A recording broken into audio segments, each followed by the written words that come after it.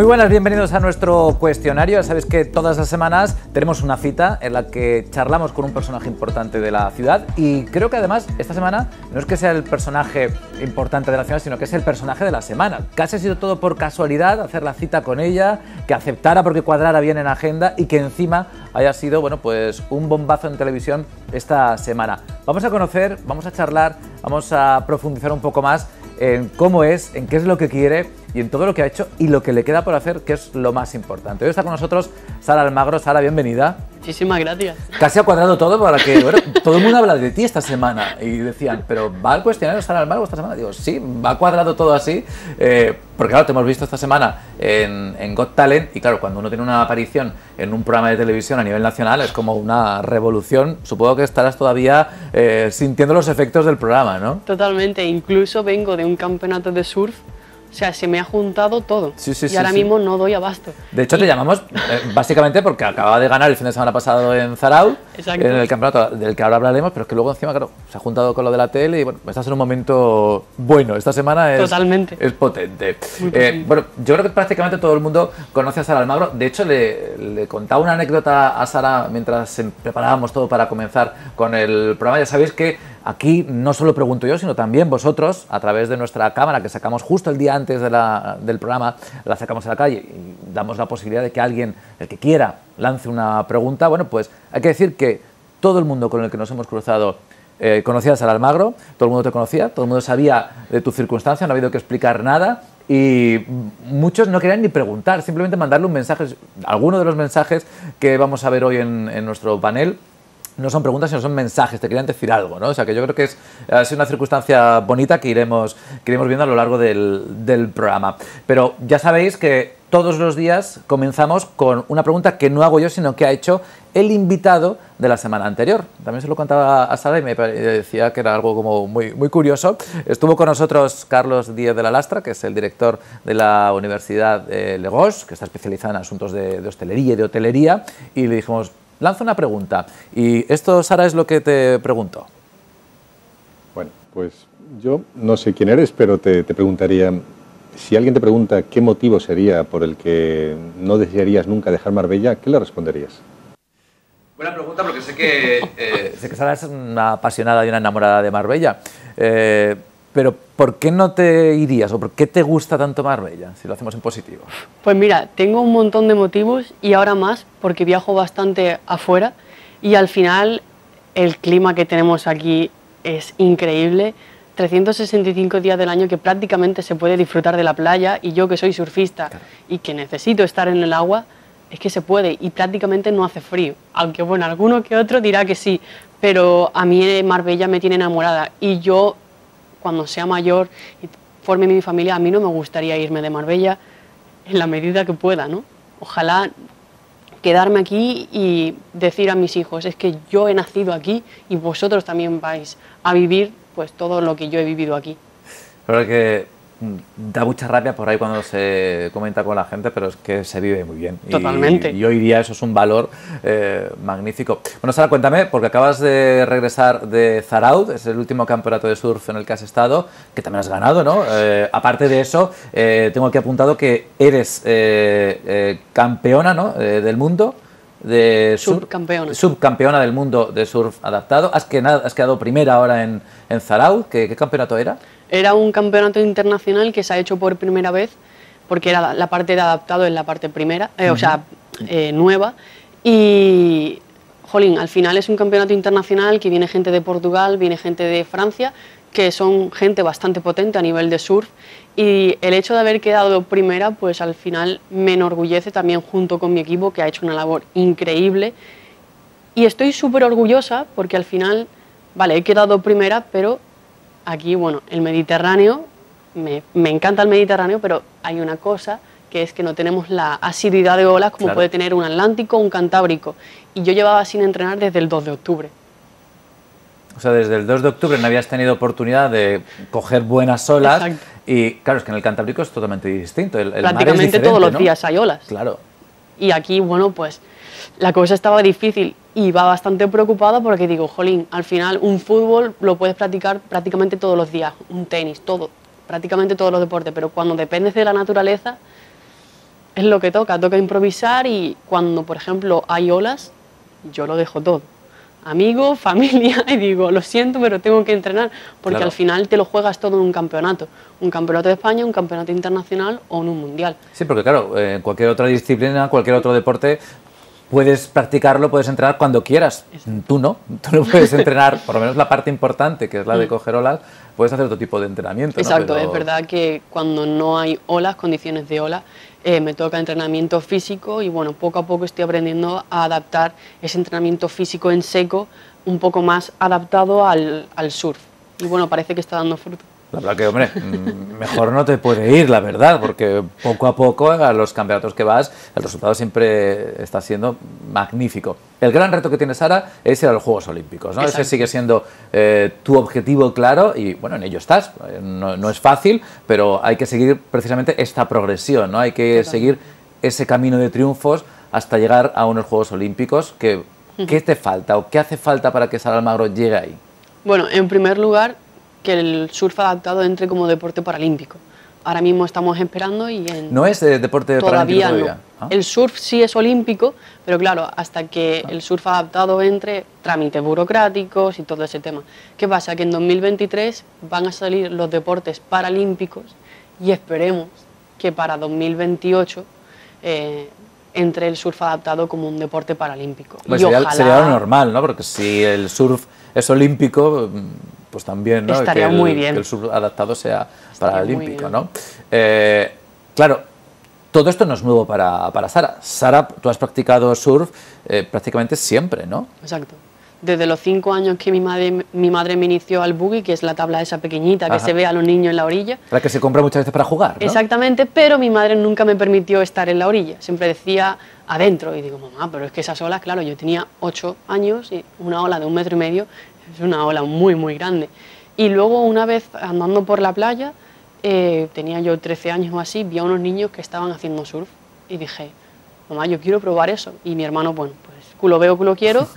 y los dos juntos nos compramos nuestra primera tabla de surf y empezamos así, no obtuvimos ningún tipo de clase y lo hacíamos como hobby. Y cuando a mí me ocurrió todo esto, a ver, yo dije, en el surf se necesitan las manos para remar y los pies para ponerte de pie. Digo, el surf queda descartado. Claro, tú- en, el momento que tú tuviste el problema de, de salud, dijiste, se me acabó el surf. O sea, Totalmente. piensa en otra cosa, porque surf, nada más. ¿Y cómo descubres tú el surf adaptado entonces? Y claro, yo me abrí redes sociales porque yo no tenía ningún tipo de redes sociales, la gente me empieza a conocer y una persona que surfeaba la misma playa que yo, que yo no conocía, pero al final de Te vista, conoces, claro. decía, bueno, pues yo voy a hacer que tú vuelvas al agua. Y pues a ver, me he quedado manca y coja, ¿cómo voy a surfear? Tú déjalo en mis manos, ahora ponte mejor y ya lo veremos. Y claro, primero obviamente aprendí a nadar, que eso me, me volvió a enseñar mi padre, y ya fue como la primera toma de contacto en una piscina, el aprender a montarme en una tabla, que es muy complicado porque al final para agarrarte necesitas las manos Claro. y para el impulso necesitas los tobillos. Y yo no tenía nada de eso. Era muy complicado. Y eso tardé una semana y a los 10 días me dice el entrenador de aquel momento, vamos al, mar. Y digo, no, todavía no, no estoy preparada. Bueno, al total, al final sí estaba preparada y dije, venga, vamos. Y la sensación de coger una primera ola era obviamente totalmente distinto, pero eh, volví al agua a sentir la velocidad y la sensación de libertad, increíble. O sea que de las eh, cosas, no sé si fue la primera cosa que se te pasó por la cabeza cuando tomaste conciencia de tu nuevas situaciones, que no ibas a poder... ¿Es lo primero que dij- pensaste? ¿No voy a poder surfear más? Claro. ¿Es lo que más dijiste? mm, Es que no me entró ni en la cabeza, ni lo pensé, porque digo, a ver, mm, Claro. la situación en la que es y no, yo no daba más. Es decir, el deporte es verdad que no fue uno de mm, mis principales pensamientos. Yo estaba pensando en que sería una inútil el resto de mi vida, que nadie me iba a querer, que no me iban a aceptar. Y el deporte estaba como súper aparcado, porque al final mis padres me habían dicho desde pequeña que no me podía dedicar a un deporte. Entonces como que, bueno, pues ahora tampoco la cosa iba a cambiar mucho. Y cuando eh, en la cama del hospital mis padres me dicen, te tienes que dedicar a un deporte, digo, ¿es, ¿es esto verdad? Pues se está metiendo conmigo. y dije, bueno, pues fútbol. Y claro, mi padre me miró y me dice, a ver, Sara, con cuatro prótesis jugar al fútbol está complicado. Y digo, bueno, pues triatlón, el tópico. Incluso se llegó a hacer todos los trámites, vino Javier Mérida, que es para triatleta, eh, vino también el presidente de la federación a entregarme la equipación y todo, y al final pues surgió el tema del surf y pues no se ha dado tan mal el surf. Y además, eh, surf adaptado, para el que no lo sepas, yo porque he estado viendo un poquito estos últimos campeonatos que has eh, participado, no vas con prótesis, no. no está permitido, supongo, o, no sería viable en el agua. Hay distintas categorías. ¿no? Entonces es verdad que mis prótesis de mano no son acuáticas, entonces me las tendría que quitar. Y luego, em, dependiendo de la lesión o discapacidad que tú tengas, eh, hay distintas categorías, porque una persona que no ve no la puedes poner a competir conmigo, porque él va de pie y yo voy tumbada. A una persona a lo mejor que le falta una pierna, no la puedes poner en la misma categoría que una persona que no ve. según la discapacidad que tú tengas, pues vas de una manera u otra.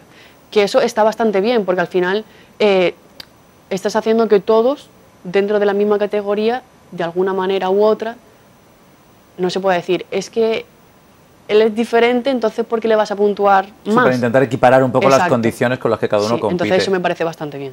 Eh, se suele decir que los deportistas estáis hechos de otra pasta y parece que sí, ¿no?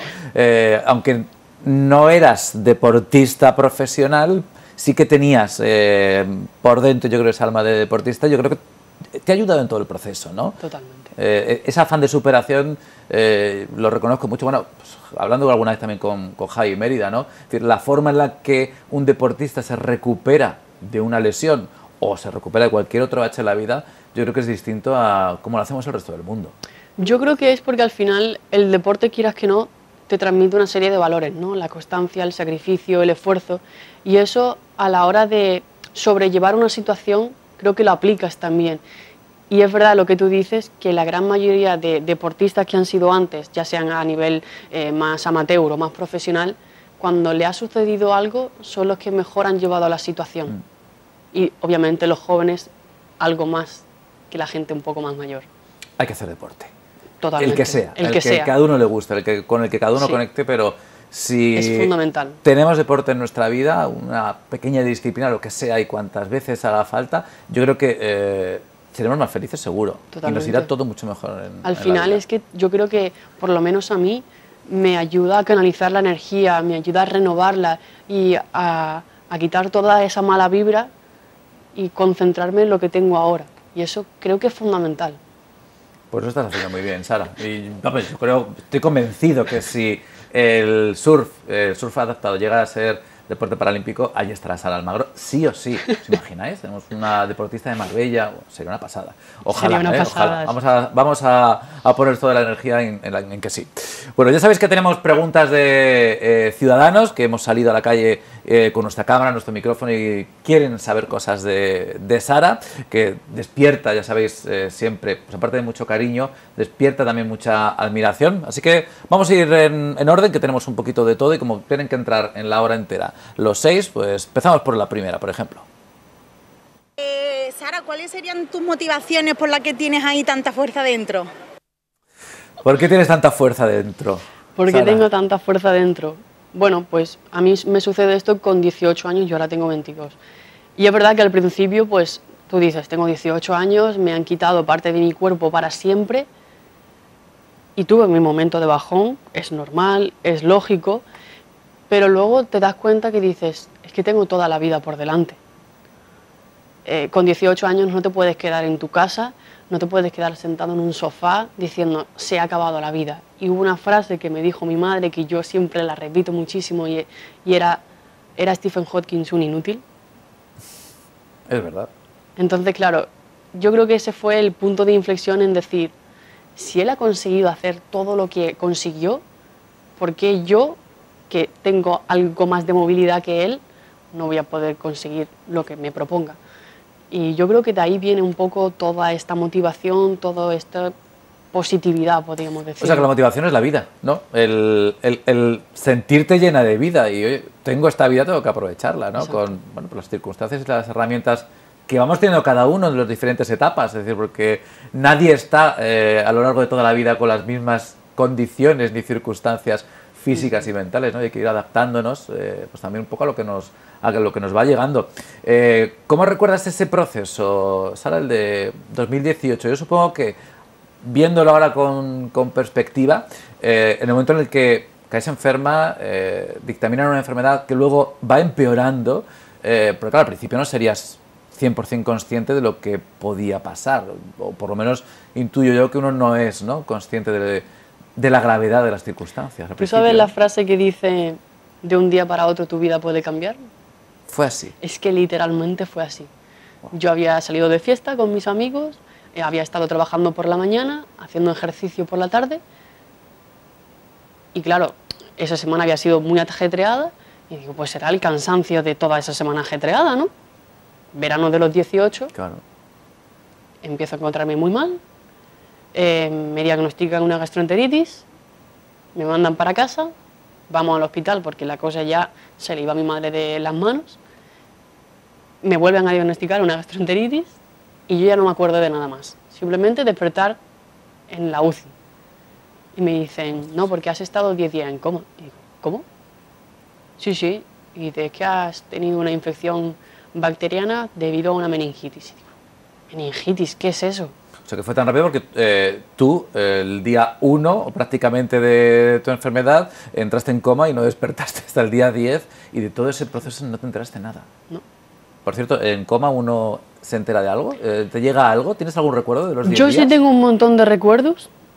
Incluso puedo decir que eh, en mi caso posiblemente la sedación era, no estaba tan profundamente y cuando mis padres venían a la habitación a hablarme, mis pulsaciones subían. Incluso eh, hubo un momento dado que mi madre, que desde las buenas ideas, me abrió los ojos y dice que yo le seguía con la, con la mirada. Que no sé si sucede a todo el mundo, por eso yo desde aquí animo a que cualquier persona que tenga un familiar, un amigo, un conocido en, en coma, que les hablen. Que de más nunca va a estar. Sí, sí, que eh, algo queda. sí, sí, sí, y, y, muchos, eh, como dice Sara, pues... Y yo retuve una cosa que mi madre me prometió, que me dice, bueno, Sara, cuando salgas de todo esto, te voy a, vamos a hacer una fiesta muy grande. Ostras. Y cuando yo salí de, del coma le dije, mamá, ¿la fiesta cuándo la vamos a hacer? Ostras. Ah, claro. Y claro, se quedó a cuadro como diciendo, ¿en qué momento le he dicho yo esto? O sea que tienes esos recuerdos pero no sabes cómo los tienes. Exacto. Curioso, curioso, mm. curioso me decías, eh, despiertas y de ese coma y los médicos te cuentan un poco lo que ha ocurrido. Fueron mis padres, fueron mis padres, sí. Ellos, es verdad que teníamos bastante trato con ellos, pero mis padres decidieron contármelo al final. Bueno, la humanidad que te la pueden contar tus padres, el tacto, no es lo mismo que un médico, que no estoy juzgando para nada la profesionalidad, pero bueno, posiblemente también sea un poco más la labor de un padre hacia un hijo. ¿Qué te cuentan tus padres de esos 10 días? Que te han contado, porque claro, eh, tú estabas en coma, no te enterabas eh, de nada, pero yo supongo que para ellos, para tu hermano, para esa familia que de repente también eh, despierta, ¿no?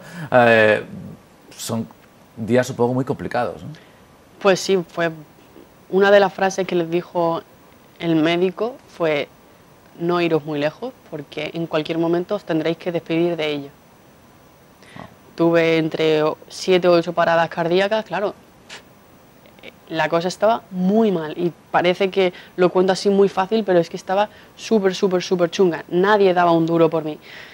Y no sé si es el hecho de querer seguir viviendo junto con la profesionalidad de los médicos de aquel momento de estar conmigo al 100% y también tengo que decir que yo antes de toda esta situación hacía CrossFit.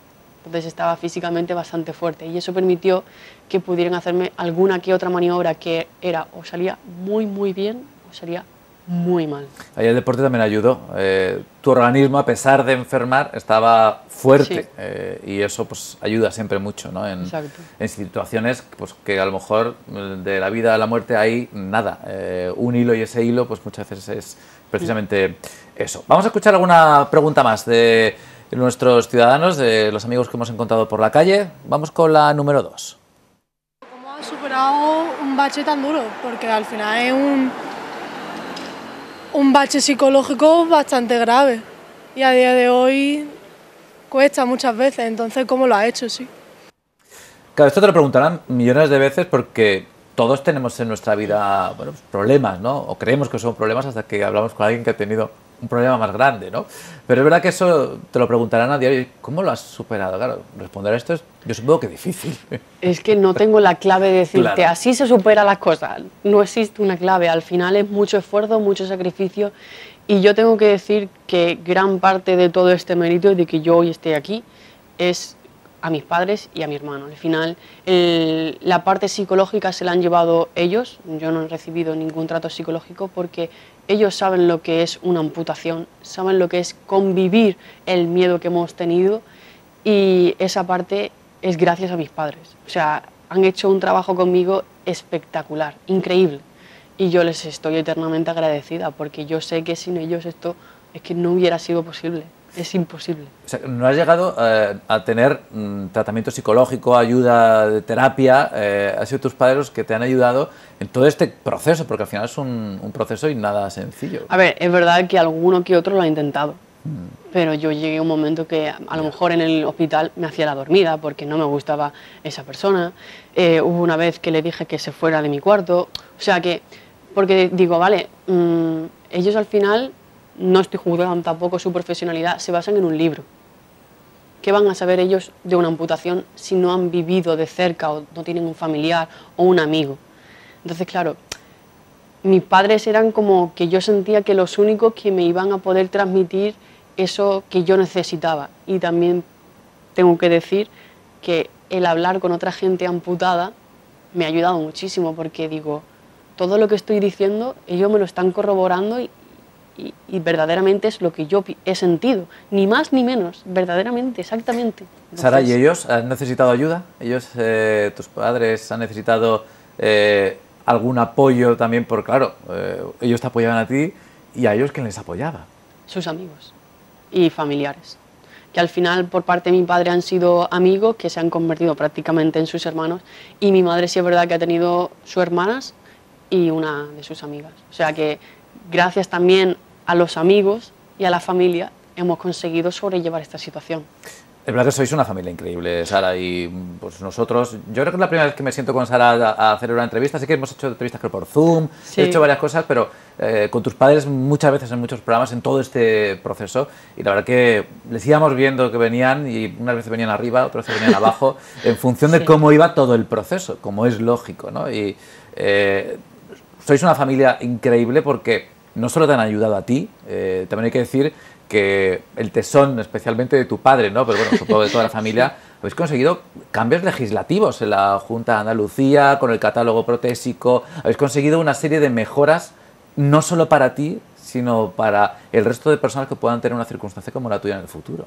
Así es, al final, bueno, todo esto surge, esa devolver a la sociedad surge porque nosotros, bueno, pues se ponen a investigar el tema de las prótesis que estaban desfasadas en cuanto a tecnología en esa época, en 2018, y dan con las que, bueno, hoy no tengo porque están en la ITV, pero cuestan una barbaridad y nosotros como familia, como personas humildes, pues no las podíamos eh, sobrellevar y pedimos ayuda a la sociedad. Claro, nos sentíamos en deuda porque gracias a ellos yo hoy prácticamente soy independiente y normal. Voy a la universidad, pillo mis apuntes, no necesito ayuda para ir al servicio, para una serie de cosas que antes sí necesitaba. ¿no? Entonces, claro, no nos podíamos quedar de brazos cruzados cuando gente en el paro estaba aportando, los niños pequeños estaban abriendo sus huchas, gente que para su cumpleaños pues pedían dinero para dármelo, no nos podíamos quedar de brazos cruzados. Era, eh, no era bonito. Y entonces una de las cosas que emprendió mi padre, que para mí ya pues llegaba un poco tarde, era la, la actualización del calendario vacunal para que se incluyera la vacuna de la meningitis y luego seguimos, siguió luchando, sobre todo él, para la mejora del catálogo ortoprotésico, pues tanto a nivel nacional como a nivel de Junta de Andalucía. ¿Y lo él- consiguió? Y lo ha conseguido. que es una que parecía un poco increíble. Muchas veces programas hablábamos de eso y parecía que era una, una batalla. Bueno, imaginaos, ¿no? Una familia, una persona con apoyos que luego lógicamente pues iba teniendo poco a poco, pero al final es una, una persona contra las instituciones, ¿no? Pidiendo a las instituciones que gasten más dinero en una circunstancia pues que a lo mejor a las instituciones en un momento dado no les parecería prioritario, ¿no? Y se consiguió y el Exacto. tesón y bueno, pues mucho esfuerzo se ha conseguido y hoy día la realidad en este 2022 es muy diferente si te hubiera ocurrido la circunstancia que cuando te ocurrió en 2018. ¿no? Sí, porque yo ahora mismo pues tengo unos pies de fibra de carbono y prácticamente creo que no se me nota que tengo prótesis. Sin embargo, con la prótesis que daba la seguridad social de madera, eso en la zona lumbar, imagínate. Claro. O sea, yo los probé y dije que no, no se puede andar con esto, es imposible. Pero nosotros no buscábamos el decir, queremos lo mejor, lo mejor que haya en el mercado, porque al final posiblemente lo mejor no sea lo más eh, normal, al- a- o sea, a la hora de la normalización. Queríamos que me devolviese la vida, unos, unos pies con los que yo pudiera andar perfectamente, no tuviera ningún tipo de problema. No necesitaba a lo mejor, pues, por mis amputaciones de, que son por debajo de la rodilla, no necesitaba un pie electrónico para subir rampas. Simplemente pues una fibra de carbono que te aprovecha la energía y haces un paso correctamente.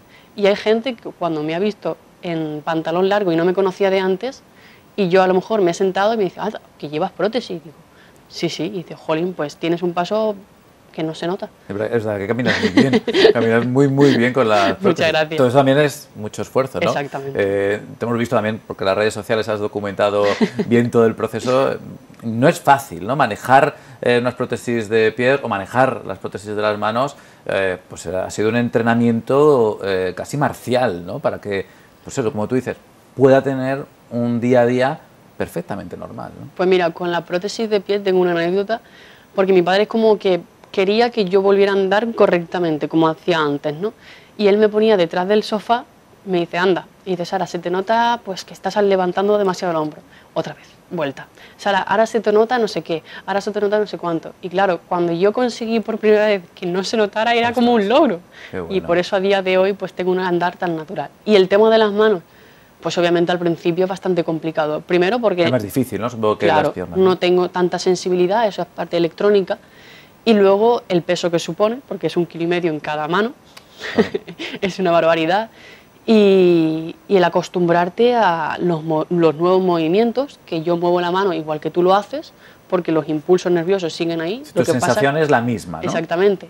Entonces, claro, al principio pues te acostumbras y se te abre la mano porque has hecho un impulso sin querer. Y a día de hoy, pues cojo hasta una patata frita.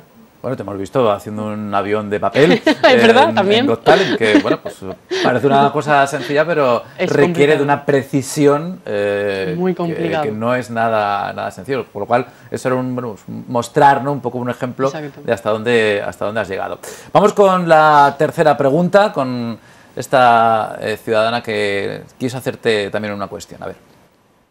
¿De dónde saca tanta fuerza? Para levantarse día a día y decir, me voy a seguir superando. Esa sería mi gran pregunta, la verdad. Porque todo el mundo pasamos cosas complicadas, pero no tan complicadas como ha pasado ella. Y la verdad que para mí es de admirar, vaya. La fuerza, ¿no? Eh, al final eh, yo creo que es lo que más admiramos, ¿no? Lógicamente que sea campeona, subcampeona del mundo de surf es una cosa eh, brutal, pero claro, muchas veces solo el impulso, las ganas de seguir adelante eh, ya suponen algo de admiración, ¿no? Y yo creo que eh, todo eso que tienes, pues como nos decías, ¿no? Tiene mucho que ver con tu familia, con tu entorno. Eh, no sé si eres o no creyente, te consideras, no sé si religiosa o algún tipo de fe en algo más allá que te ayuda en este tiempo. Yo lo que creo es en mi familia, en el cariño, en el amor, en el apoyo que me han dado también mis amigos. En eso es lo que me baso y gracias a eso he conseguido la fuerza para sobrellevar todo esto. Bueno, y el cariño de toda Marbella. También. Vamos ahora a hablar a la Y de mis seguidores, o sea, Eh, exacto, eh, porque es increíble. mm, hoy día, eh, sí, el, tu entorno, que es el que está y el que te ve de verdad y eso, pero luego hay otra realidad que también ayuda en muchos momentos y que, oye, pues supone también un empujoncito. Pero vamos a hacer una pequeña pausa y regresamos enseguida y le preguntamos eh, sobre esto a Sara. Nos mováis, ¿eh?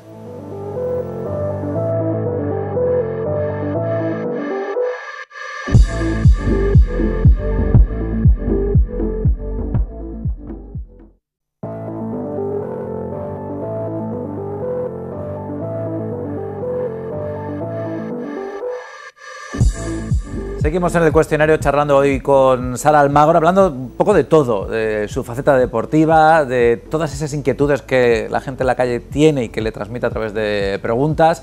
Y precisamente nos hemos quedado hablando del apoyo y el cariño de la familia, de los amigos, pero también de lo digital, porque hoy día, ya sabéis, a través de redes sociales, bueno, pues uno o puede pasarlo fatal porque te ataquen los trolls y porque te digan de todo, o puedes tener un gran apoyo porque bueno, pues muchísima gente que se siente identificada, que tiene empatía con lo que te está ocurriendo. Y bueno, pues me decía Sara que ciento y pico mil seguidores en Instagram, más de 700.000 en TikTok. Es una comunidad digital ya importante. Es brutal. Y encima, yo lo digo siempre, y a mí no me gustan las redes sociales, porque siempre he visto que es un mundo un poco, poco natural. Y a mí me gusta la naturalidad. Entonces, claro, el meterme al final en las redes sociales surge por todo el tema de la necesidad de prótesis, de llegar a más gente. Y eh, al final mi objetivo, mi meta con las redes sociales es transmitir que se puede salir de todo. Yo siempre digo que lo mío no es más que lo tuyo, ni menos que lo tuyo, simplemente es lo que me ha tocado vivir a mí, es algo totalmente distinto. Entonces yo con las redes sociales intento también eh, el demostrar la normalidad, el dar visibilidad, el hacer una serie de cosas que creo que a lo mejor otros perfiles no se dedican, entonces creo que he encontrado como un nicho de mercado que es para mí. Sí, sí. Oye, eh, cuando empiezas a darte cuenta en 2018 de que también pues a través de redes sociales que se empezaba a crear un movimiento que podemos equiparar parecido al de Pablo Raez, eh, yo creo que son los dos casos que hemos tenido, ¿no? por lo menos en la provincia de, Málaga, eh, que han movido a mucha gente, eh, que hemos empatizado con la circunstancia médica que estaba padeciendo alguien y la gente se ha volcado, se ha volcado la gente en Marbella, porque se ha volcado prácticamente en toda la provincia, en todo el país. Eh, cuando empiezas a, ser consciente de todo eso, ¿cómo lo, cómo lo vives? Porque tú eras, tú eras, digo eras porque Ahora ya no eres tanto, pero es que eras muy tímida, ¿no? Eras, eh, Yo soy tímida. Tú eres tímida. Eh, ahora ya, pues lógicamente, mucho más... Estoy trabajando en ello. Mucho más hecha a, todo esto en una entrevista, ¿eh? pero... Pero claro, tú eras una chica tímida y de repente te ves en el foco y en unas circunstancias que no te apetece que te mire nadie. Claro, que, que estás, saliendo, estás en una enfermedad, estás en un proceso y te ves en el foco, ¿no? A ver, yo tengo que decir que a los pocos días de crearme las redes sociales tenía 5.000 seguidores, pero yo pasaba de las redes sociales, que no me gustan. Entonces, bueno, como que me daba igual. Y entonces llegaban mis padres porque ya estaban empezando a tener determinadas entrevistas, estaban saliendo en la tele, y la gente, la gente obviamente, pues cuando paseaban por la calle, hablaban con ellos. ¡Buah, Sara, la que se está liando! Y digo, ¿qué se está liando? Seguro que están exagerando, como buenos andaluces, están exagerando. Y yo cuando salí el 1 de diciembre fue el Puente de la Inmaculada, que se hizo un evento de los bomberos en la cañada, de la RCP, que bueno, se vendieron pulseras y la gente desde la parte de la planta de arriba, ¡ah, Sara, yo te sigo! Y yo decía, ¿cómo puede ser esto? Si yo, yo es que no te conozco, es que, claro, al principio como que me sentía mal porque digo, no conozco a quien me está saludando, cuando yo antes siempre conocía a la gente que me saludaba. Y fue un momento que me, me tuve que acoplar a, a decir, jolín, qué pasada, ¿no? Al final, el mostrar la normalidad está ayudando a gente. Y a día de hoy recibo miles de mensajes de la gente que me, me, da las gracias porque a lo mejor están pasando por una depresión y gracias a mí han conseguido ver el por qué estaban depresivos o por qué estaban con ansiedad o incluso la persona que se ha levantado pues con el pie izquierdo y yo a lo mejor, pues justo ha dado la casualidad que ese día he subido un vídeo pues, haciendo el tonto y les he hecho el día. Entonces al final, que aunque no me gusten las redes sociales, estoy consiguiendo el fin, que es poder ayudar también indirectamente a los demás. Y las llevas a tu terreno, ¿no? A, como tú eres y no hay postureo en tus redes sociales, hay mucha naturalidad, que yo creo que eso también la gente lo, lo valora. Eh, da un poco de vértigo, de miedo ver el poder que mm, te llegan a dar las redes sociales. Es decir, eh, claro, la gente te escribe con un problema, con una circunstancia eh, y casi te piden hasta consejo, ¿no? Eh, yo me pongo en la situación, me, me, daría un poco de, a ver qué digo, o qué le recomiendo, o qué comento, porque puede ser una situación delicada. Es súper difícil, porque al final, jolín, ¿quién soy yo para dar un consejo a una persona? No soy nadie. Y me cuesta muchísimo, entonces intento ser lo más objetiva y lo más correcta y decirlo de una manera para que no se sientan que, que, lo suyo no es nada. Entonces intento ayudarles de, de cualquier manera e incentivarles a que sigan luchando si están pasando por una enfermedad o si tienen un familiar que pues, acaba de fallecer o están pasando por un mal momento. Y esa parte es como que a mí también me está ayudando. Yo supongo que cuando te dicen que les has ayudado al cabo de los días o los meses te vuelven a escribir, oye, me ayudaste y superé esto o estoy viéndolo de otra manera, ahí te tiene que dar un orgullo, una satisfacción, ¿no? Es Sí. una sensación bonita. brutal. Es brutal, es algo que no se puede describir. Porque tú dices, le dedicas a lo mejor a esa persona 5 minutos, 10 minutos, y al cabo del tiempo te escribe dándote las gracias porque viendo tus vídeos y siguiendo tu vida ha podido superar la suya. ¿Qué más? Se me no? ponen ¿Qué los vellos de punta. ¿Qué O sea, es Claro. brutal. Vamos a seguir escuchando a algunos de los ciudadanos. eh, vamos con el, creo, número 4. cuáles pueden seguir siendo sus metas, ¿no? Eh, a, a qué más puede llegar. Aunque esa chica mismo es que ya ha llegado muy lejos para, para mí, además la vi, el otro, la vi anoche y genial. O sea que pues seguirá en esa línea, ¿no? Haciendo deporte, haciendo ese tipo de, eh, no sé, pues, seguir, seguir sus estudios, todas, todas esas cositas. Y ya está. Ya hemos hablado de las metas deportivas, que tenemos ahí puestos los Juegos Olímpicos eh, como gran reto. ¿Algo más inmediato? ¿El siguiente campeonato que tengas de surf? Pues mira, ahora mismo estoy pendiente que la selección de surf adaptado me convoque para el Mundial, que será del 4 al 11 de diciembre. De 4 al 11 de diciembre. Sí. Y podría conseguir el campeonato, porque si tienes el subcampeonato ya... Obviamente yo he mejorado, Claro. mis rivales también. Entonces, bueno, yo voy, como digo siempre, a por el oro, porque una competición se va a ganar, no a disfrutar. Y me encantaría poder traerme el oro a Marbella.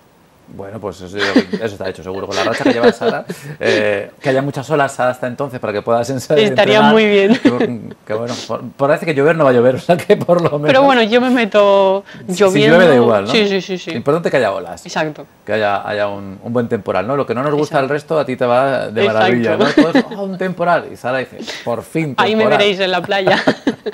Eh, bueno, eh, no sé si hemos hablado un poquito de redes sociales, de todo esto. Yo creo que también es importante que me- hablemos un poco de la parte estética. Eh, claro, chica, 18 años, eh, de repente físicamente cambias absolutamente. Lo he enlazado con las redes sociales un poco por, por esa especie de tiranía que hay ¿no? las redes sociales y la cantidad de mensajes negativos que muchas veces tiene que escuchar pues, una persona pues, que es gorda, que salta más de la normal o más baja de lo normal o que tiene, bueno, ya sabes, las diferencias que tenemos todos. Muchas veces con eso en las redes sociales se ceban mucho. No sé si a ti esa parte física tuya que cambió, el encontrarte sin extremidades, te costó asumirlo. Obviamente al principio sí, pero me duró muy poco porque em, yo no me podía tirar todo el rato en la habitación, entonces me daba paseos por el hospital y yo iba vendada como una momia con mis muñones y mis muñones pues eh, estaban expuestos. Y es verdad que tengo que decir que hay una parte que cuando yo tenía que ir a diálisis, a quirófano, a las distintas pruebas, eh, los celadores, que son los que te transportan en camilla, venían y me dicen, oye Sara, en el pasillo hace frío, tápate. Yo decía, vale, me tapaba. Pero en el pasillo no hacía frío. En el pasillo hay mucha gente curiosa que mira. Y entonces yo lo que hacía era sacaba los muñones. Porque digo, al final tengo que aceptarme tal y como soy. Me tengo que acostumbrar, ¿no? Porque me van a mirar. Exacto, y todos miramos, el que diga que no miente, ya sea porque te parece atractivo, porque tenga un determinado físico o por lo que sea. Y digo, "Pf, el que quiera mirar, que mire, van a mirarme cuando salga del hospital, cuando esté surfeando o cuando sea. Entonces, cuanto antes yo asuma que este es mi cuerpo, antes, mejo- antes o sea, mejor lo voy a llevar. Y desde el momento del hospital yo pues, me mostraba tal y como era. Y en redes sociales yo no utilizo ni filtro, no me gustan. Te, te escriben chicas eh, hablando de esto, eh, del aceptar su cuerpo Sí. eh, y cómo haces para aceptarte. eh, ¿Es algo que eh, preocupa a las chicas? de hoy? Mucho. A las chicas y a los Y chicos. a los chicos también. Sí. Porque al final es que eh, hoy día, si no eres el prototipo de chica o eres el prototipo de chico, es verdad que te funan. O sea, a tope. cosa que no entiendo, porque vamos con el tema de más inclusión, más adaptación, más no sé qué, y luego, ¡pumba! Digo...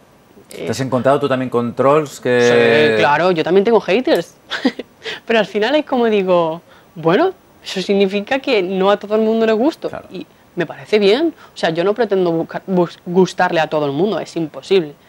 Entonces, bueno, pues tener haters de vez en cuando da vidilla. Da vidilla, ¿no? que sea muy aburrido, ¿no? Todo el mundo, ay, qué bien, qué buena eres, Sara, ¿no? Eh, Pero yo te digo una cosa, y perdona que te corte. Sí, sí, no. Sé que esa gente lo hace a través de la pantalla. Si un día me lo encuentro cara a cara, no son capaces de hacerlo. Y esa es la pena que a mí me da de las redes sociales. Que somos muy capaces de decir las cosas por detrás de una pantalla, pero la cara no. Y, Sara, el daño que se le hace eh, a muchos eh, jóvenes, ¿no? a chicos y chicas. Eh, tú eres fuerte, tú pues, a día de hoy eres capaz de asumir pues, que te insulten, que se metan contigo, pero es que hay muchos casos que eso genera luego una serie de problemas porque no, no todo el mundo es capaz de encajar bien los golpes. ¿no? Y insultos gratuitos o ataques totalmente gratuitos por una condición física hacen mucho daño. ¿no? Tengo que decir que es verdad que a mí de pequeña se metían conmigo porque yo era una chica muy deportista y que le gustaba jugar al fútbol. Y conmigo se han metido a tope, me han apodado, me han... de todo, ¿no? Mm. Entonces yo creo que eso creó un poco de callo. Es verdad que el tema de las redes sociales es totalmente distinto a cuando eres un niño, porque en las redes sociales hay gente un poco más mayor. Y el insulto va de otra manera. Y sobre todo cuando tienes un cuerpo totalmente distinto a lo que es común. Y entonces yo cojo ese comentario y de alguna manera como que le digo, vale, no pasa nada, tú tendrás ese comentario de mí, pero estoy segura que no eres capaz de decirme a la cara. Y yo, a mí me da igual lo que opines porque primero no te he preguntado. Y segundo, tengo la suficiente confianza en mí para decir que me resbale todo ese comentario, pero a lo mejor tu comentario a otra persona la estás hundiendo y tanto que se habla de salud mental y que tenemos que velar por ella, que me parece súper importante, pero luego somos los primeros en criticar a alguien porque tenga un determinado cuerpo. Entonces, al final como que veo un poco de hipocresía en todo esto, ¿no? Y a, mí eso me molesta. Y entonces yo trato también de llevar un poco a esa gente a decirle, recapacita un poco y piensa antes lo que vas a decir. Y si no tienes nada bueno que decir, cállate. ¿Qué le dirías a, un adolescente que... Eh, no acepta su cuerpo, es decir, que se siente mal eh, porque no llega a pues esos cánones que tiene pues a lo mejor su cantante favorito, eh, no sé, eh, su actriz preferida, todos estos referentes que tenemos todos normalmente, más en la adolescencia y bueno, pues hay gente que no, no asume el cuerpo que tiene y quiere llegar a tener el otro y eso frustra mucho. ¿Qué le podrías decir? ¿Cómo has trabajado tú lo de aceptarte? Pues yo les diría que hay gente que tiene un cuerpo esbelto, un cuerpo musculoso, unos son altos, bajos, con sobrepeso, con bajo peso. Y yo no tengo manos ni pies. ¿Y? Sí, sí. al final... Eh, Cada cuerpo es distinto. Entonces no te puedes comparar con los demás. Porque para unas cosas no nos gusta compararnos, pero para otras sí. No hay que compararse con los demás. Cada uno es único. Eso es lo importante y al final el físico, el físico, en concreto el físico, es que eh, siempre pasa. Es decir, una vez pasa mejor, otra vez pasa peor, depende de las referencias y los momentos de la vida. Es decir, que es una cosa eh, tan efímera y yo creo tan poco importante. Es verdad que es a primer golpe impactante, para bien y para mal, ¿no? el físico. Pero más allá de eso del primer impacto mm, no tiene mucha más importancia, no debería tener mucha más importancia en nuestra vida. ¿no? Es que incluso hay veces que pienso que determinados complejos que se tienen es porque nosotros no los teníamos, pero porque la persona que queremos referente, ídolo, lo tiene, digo, ah, pues yo también tengo la misma nariz que ella, entonces yo también tengo que tener ese complejo. Entonces, ¿Sabes? Creo que un poco viene por ahí. Que no, que eso está muy mal, que confíes en ti y tengas seguridad y autoestima de decir esto es lo que soy y el que no le guste, que no mire. Vamos a continuar con el quinto, el quinto ciudadano, a ver qué quiere preguntarle a Sara. ¿Qué va a necesitar más para intentar valorar lo que, lo que ha conseguido? ¿Qué creéis que, que puede hacer, llegar a ser? Más, yo creo que es imposible, ¿no? Ya más ¿Qué necesitas más? Eh, Sara, no entiendo muy bien la, pregunta, pero eh, te hemos ayudado mucho y has pedido, y la familia ¿no? ha pedido mucha ayuda pues, para el tema de las prótesis y demás. No sé ahora mismo en qué punto eh, de ayuda estás. Eh, ¿Sigues necesitando ayuda? Eh, ¿Tienes la ayuda suficiente? No sé si ahora la ayuda habría que transformarla en patrocinios deportivos, que también eso es algo importante muchas veces en los deportistas. ¿En qué momento estás? Pues mira, a nivel de tema de prótesis está cubierto por la Seguridad Social Andaluza, entonces por ahí está perfecto. Eh, a nivel personal, yo que la gente cuando yo hago las charlas que estoy empezando a dar se vaya pensando a casa, para mí eh, es más que pagado. Y si como dices, a nivel de deportivo es verdad que el surf es un deporte muy caro y si a esto le añadimos adaptado, aún más. Claro, porque tú llevas un equipo eh, importante que, bueno, pues el surfista adaptado lleva un equipo que es el que le ayuda, ¿no? Leía eh, estos días eh, que necesitas a alguien para que eh, te lleve hasta la ola, para que te recoja la orilla, es decir, que hay una serie de compañeros de equipo que contigo compiten también, claro. Exacto, sí. Y claro, ahora mismo el surf adaptado es un deporte que está en auge. Se ha creado un circuito nacional y yo este año, por falta de patrocinadores, no he podido ir a muchos campeonatos, por decirte que solo he tenido eh, presupuesto para ir a tres. Entonces, claro, me gustaría poder seguir eh, yendo a los campeonatos porque eso al final es una preparación tanto para el campeonato de España como para el mundial. Y el hecho de ir a distintos puntos de España a poder surfear eh, también me hace que mejore como surfista porque sí, tenemos el Mediterráneo, los surfistas del Mediterráneo tenemos unas características que nos diferencian muchísimo del resto de surfistas, pero el surfear en diferentes puntos te hace mejorar. Igual que cuando tú investigas una información, no la investigas solo en una fuente, hay que investigar en toda la fuente. Pues esto es igual. Así que, eh, bueno, pues los empresarios de Marbella que se pongan las pilas. Eh, tenemos una eh, futura deportista olímpica aquí en Ciernes, todo va gestándose, ahora mismo su campeona del mundo de surf adaptado. Quién sabe si el próximo día que hablemos con Sara, que ya será en diciembre, cuando vuelva del Mundial, hablemos con una campeona. Pues, Estaría eh, muy bien eso. ¿eh? Hombre, eso sería lo suyo. Me encantaría. Yo creo que va a ser, seguro. Y si lleva pues, eso, el nombre aquí de la empresa, en, oye, pues, ¿verdad? Totalmente. Pues que echen una mano a nuestros deportistas, que no hay mejor dinero que invertido en el, en el deporte, la cultura, los patrocinios. Eso es algo importante para las, las empresas, así que es una pena ¿no? que una deportista, y no es el único caso de Sara, hay muchos deportistas que no pueden participar en todos los campeonatos, en todas las competiciones para las que están preparados porque no tienen eh, disponibilidad económica, porque lógicamente un fin de semana, tres viajes, un equipo, eso vale un dinero y bueno, pues normalmente la economía de una familia no, no es posible, es una cosa realmente eh, inviable, ¿no? sé que, bueno, pues que se pongan las pilas los, los empresarios, que Sara tiene ganas y va a conseguir muchos, muchos logros. Bueno, en todo esto, Sara, estás en la universidad, eh, nos lo has mencionado, estás estudiando ya cuarto de Derecho. Cuarto de Derecho. A ver, técnicamente estoy en cuarto con asignaturas pendientes un poco de, de todos los cursos. Obviamente no, no tengo todo el tiempo disponible para poder dedicarme a todas las asignaturas, por lo que algunas veces me toca dejar aparcada alguna que otra, pero tengo que decir que a todas las que me he presentado, todas están aprobadas. Qué bien. y bueno, yo me metí en Derecho básicamente porque quería ser inspectora de Hacienda. Quería ser inspectora de Hacienda. Bonita vocación, bonita vocación. Pues es la primera vez que me encuentro con alguien que quiere ser. Mi vocación es ser inspectora de Hacienda. ¿De dónde te viene eso? Porque me, encanta la economía, me flipa. Y es verdad que todas las optativas que estoy cogiendo de derecho pues tienen que ver con economía. Y mm, obviamente ahora mismo con todo lo que me ha sucedido, el, tirarme 12 horas eh, estudiando para una oposición, con todos los proyectos que tengo en mente y que me están llegando, ahora mismo no entra en mis planes. Pero no sé a qué me voy a dedicar en un futuro.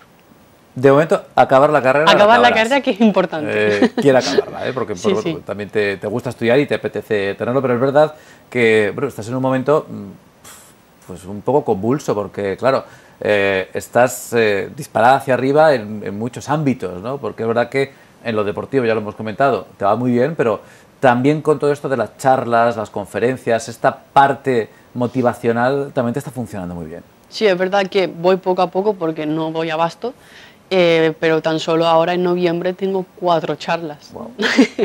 Una en Madrid, otra pues en la provincia de Málaga. Y también estoy empezando a dar charlas en los colegios y, e institutos que aportaron su granito de arena y bueno, pues de algún modo darles las gracias personalmente. Bueno, y para esa Sara tímida, ponerte delante de un foro, eh, un montón de gente a hablar, a hablar de ti, de tus cosas, ¿eso cómo se lleva? Pues si a mí hace cinco años me dices, no, tú vas a estar dando charlas, me río en tu cara. sí. Porque yo lo pasaba súper mal, o sea, me temblaba la voz, eh, me sudaban las manos, obviamente pues ahora no me van a sudar, pero lo pasaba muy mal. ¿Qué pasa? Que la diferencia es que antes tenía que tratar un tema eh, que no era mío y ahora es un tema mío que yo controlo. Y si me equivoco, pego un patinazo, solo yo me voy a enterar. Claro, claro. Entonces es como que me relaja un poco. Es verdad que sigo, me, me, sigo poniendo bastante nerviosa, pero creo que estoy como trabajando en ello y al final, eh, si yo escucho la primera entrevista que hice y la que estoy dando ahora, hay un paso abismal, igual que las charlas. Si escucho la primera que hice y dentro de tres años escucho la que estoy haciendo en ese momento, creo que habrá un paso, o eso espero. seguro, seguro que sí. Estuviste, ¿no? Hace poco también dando una charla eh, de la mano de Juventud, creo que fue en el teatro, ¿no? Con institutos. Estuviste, me parece... Juventud... no, ¿no estuviste, me parece? No, estuve hace poco en, Yo te he visto en, Málaga, en Málaga. En Málaga, en Málaga, estuviste, ¿no? sí, en Málaga, con la sí. Asociación de Periodistas Eso fue, eso Deportivos y de la mano de Julio Rodríguez, que un encanto increíble, me lo pasé súper bien. También eh, el momento de preguntas es un momento que a mí me gusta bastante, porque al final es un poco más de tú a tú, ¿no? Y eso mola, mola, mola. Empiezas a ver la cara del que te ha estado mirando, ¿no? Y, y Sí. ponerle, bueno, pues una historia detrás, ¿no? Que es algo también eh, realmente, realmente bonito. Eh, creo que tenemos todavía un mensaje más, el sexto, para ir cerrando los mensajes. Que no le tendría nada que preguntar, que solo le daría la enhorabuena por haber tenido un par de lo que hay que tener para comerse el mundo.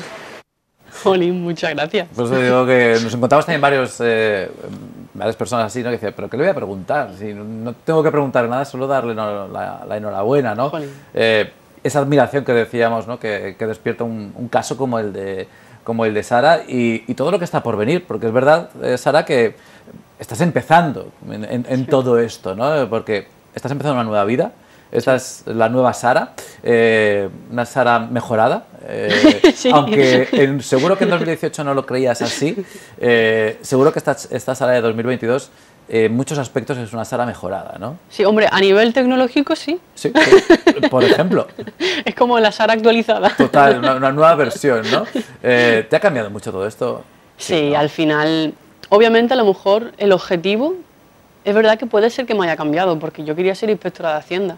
Yo no soñaba con ir a los Juegos Olímpicos. Me gusta más lo de los Juegos Olímpicos que lo de inspectora de Hacienda, pero bueno, va, a ser menos estable.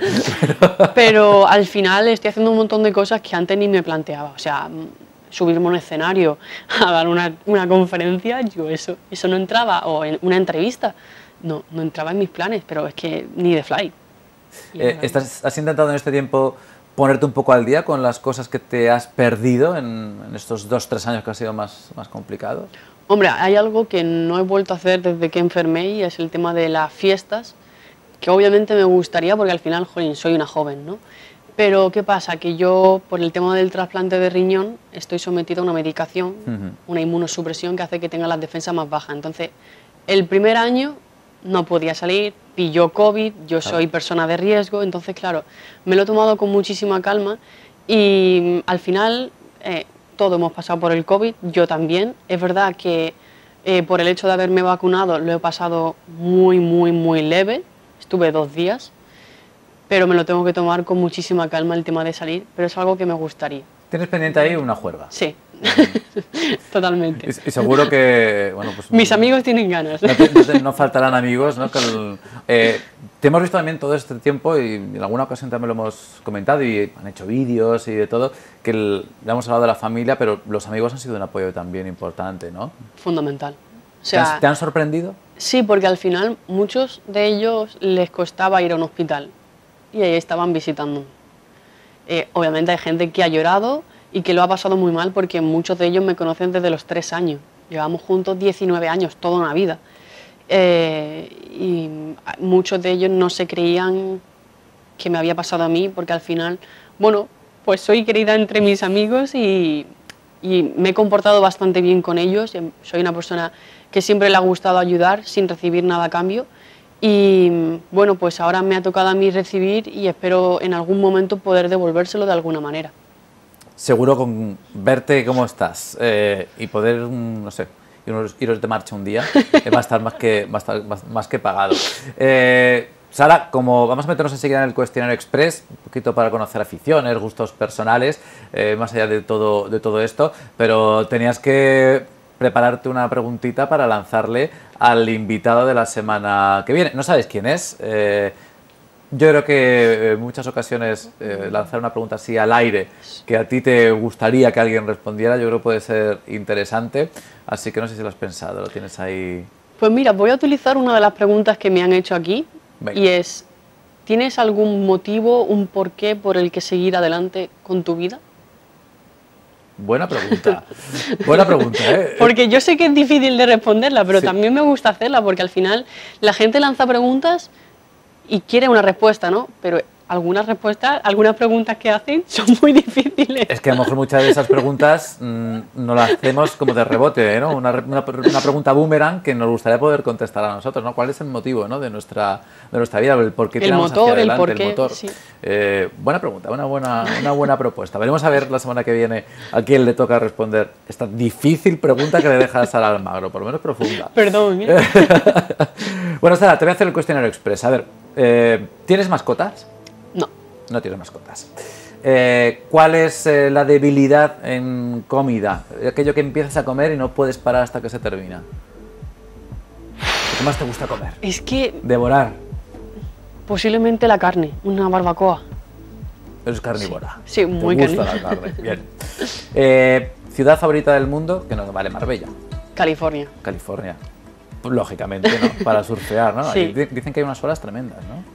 A ver, nos tocó unas condiciones normalillas, tanto decir que en el Mediterráneo no hay ola, que hay unas condiciones pésimas. Y allí pasó justo.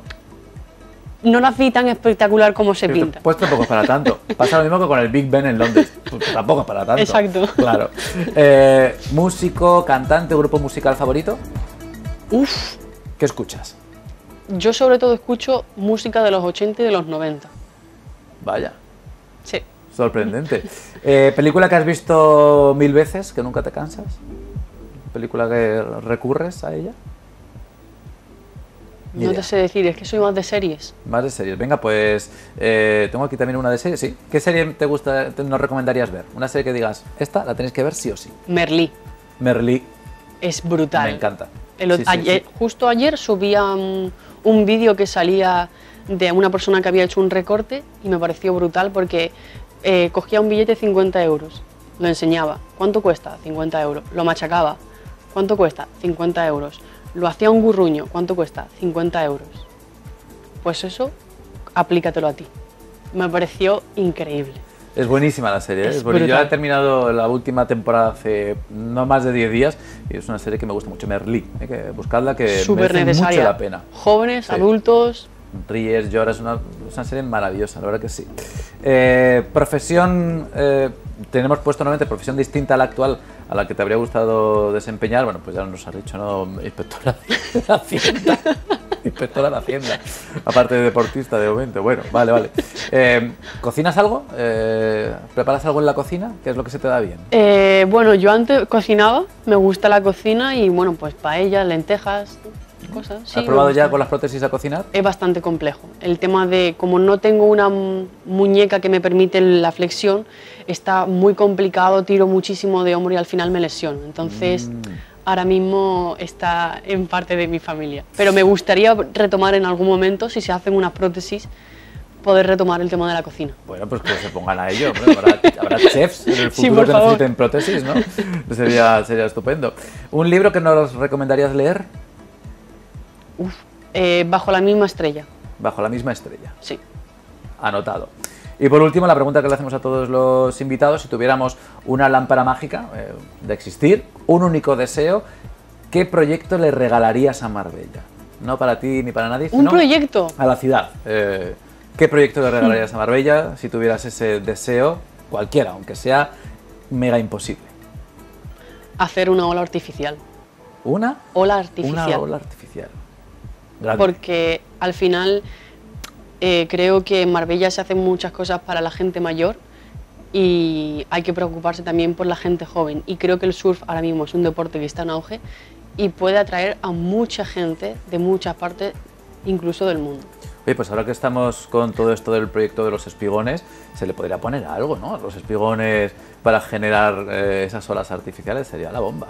Sería, Estaría sería, de un locos. pelotazo mundial, imaginaos. Eh, Sara, un placer haberte tenido en el programa hoy. Gracias por venir, por venir con esa sonrisa, por contarnos cosas tan chulas que alguien que lo ha pasado tan mal transmita tan buen rollo y transmita cosas tan tan buenas, eh, yo creo que eso es impagable. Así que siga así, suerte con todos tus proyectos y bueno, pues aquí tienes como siempre tu casa. Pues muchísimas gracias de verdad y es un placer hacer una entrevista aquí en Marbella. Muchas gracias, Sara. Estamos en contacto porque muy pronto tenemos que felicitarla por el Mundial de Surf y por muchos logros más, así que no será la última vez que veamos a Sara en estas pantallas. Nos marchamos, nuestro tiempo por hoy se termina. Ya sabéis que a través de nuestra página web www.rtvmarbella.tv buscáis el cuestionario y tenéis todos los programas anteriores por si queréis revisitar algunas de las ediciones anteriores.